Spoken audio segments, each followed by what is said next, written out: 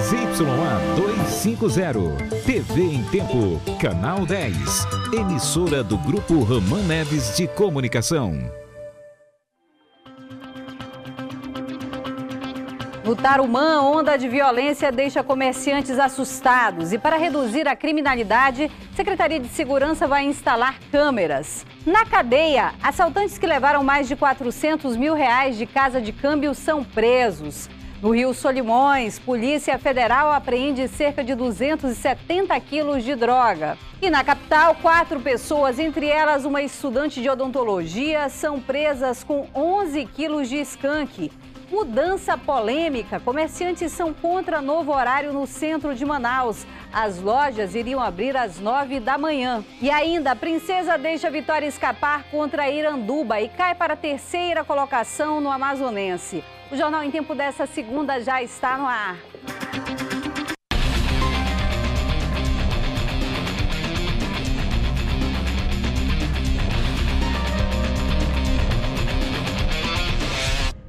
Olá para você que acompanha o Jornal em Tempo pela internet.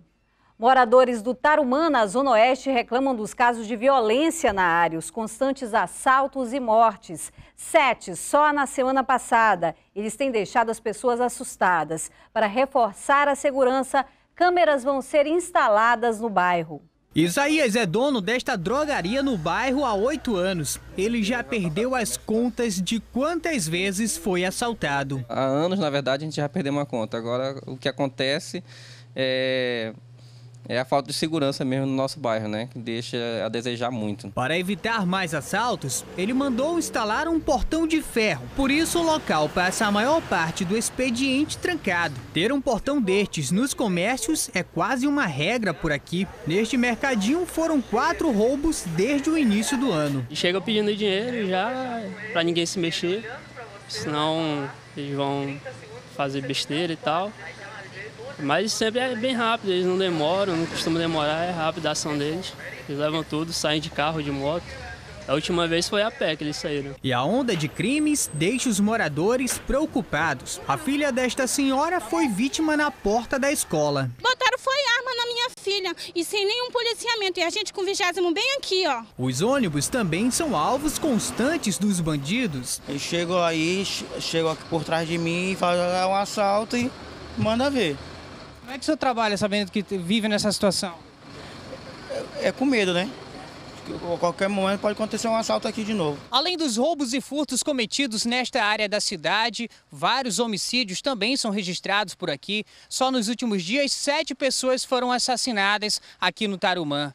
O bairro ainda está em crescimento, com invasões e ramais. E esses são os locais propícios para os assassinos. Na última sexta-feira, três pessoas foram assassinadas na comunidade das Luzes. Um dia depois, na sexta, mais três homens foram mortos no ramal da Azel. Além deles, um sargento também foi vítima de criminosos durante uma tentativa de assalto. A Secretaria de Segurança Pública do Estado reconhece o problema, por isso, algumas medidas serão tomadas. De concreto que nós estamos fazendo aumentando a mobilidade de policiais na rua para que essas pessoas que andam armadas para cometer crime tenham a possibilidade de serem pegas em barreiras policiais e vamos levar muito em breve as câmeras de monitoramento para aquela região. E enquanto as coisas não melhoram, quem mora por aqui convive diariamente com o medo. Teme muito pela nossa vida, né?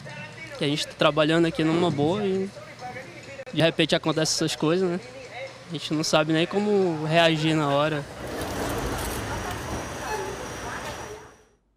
E os assaltantes que levaram mais de 400 mil reais de uma casa de câmbio no início deste mês foram presos na capital. A Polícia Civil apresentou hoje Antônio Marlon Silva, Alan de Souza e o taxista Erivelton Mendes. Eles são suspeitos de participar de um assalto a uma casa de câmbio na zona centro-sul de Manaus. Uma adolescente de 16 anos também foi apreendida. A menor foi a, a, a primeira que entrou na casa de câmbio, né? Ela estava com o cabelo louro e logo que chegamos até ela, ela já havia pintado o cabelo.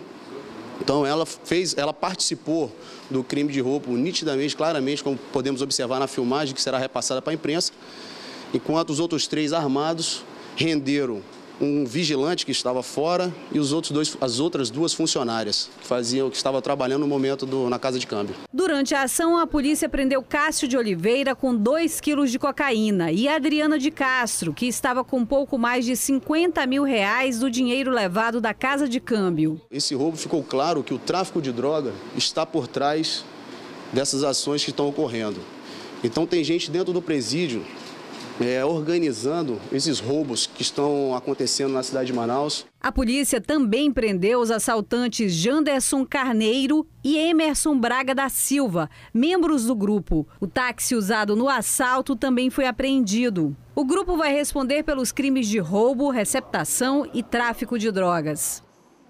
Na manhã de hoje, o prefeito de Manaus fez a primeira reunião com os novos secretários depois da reforma administrativa. A reforma administrativa reduziu o número de secretarias para diminuir gastos públicos. De 36, agora são apenas 20. Mas com as mudanças, algumas ficaram sobrecarregadas. Por isso, agora uma pasta vai auxiliar outra. É o caso da Secretaria Extraordinária, que vai ajudar a pasta municipal de finanças. Ele trabalhará com uma secretária e dois ou três assessores. Não mais que isso. Então, eu diria que nós temos a rigor 19 estruturas que têm mais peso, assim, de carga é, de custeio.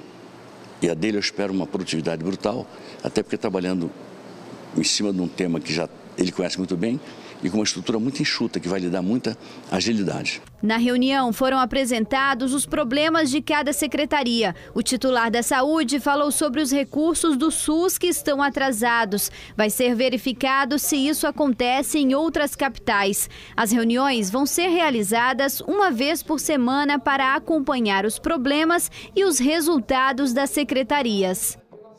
Depois do intervalo, quatro pessoas, entre elas uma estudante de odontologia, são presas com skunk. E ainda comerciantes são contra a mudança de horário no comércio do centro de Manaus. A gente volta já.